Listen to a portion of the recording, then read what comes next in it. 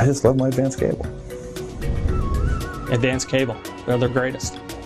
Uh, one of the things I love about Advanced Cable is it's not the huge corporation that the DirecTVs and the AT&Ts are. It's right here in town. Why aren't you using what we've got here in town? And I get such great customer service. My service was set up uh, by somebody that was friendly. Uh, she worried about my needs. She made sure that she got me the exact service that I needed to take care of my business and everything else that I do.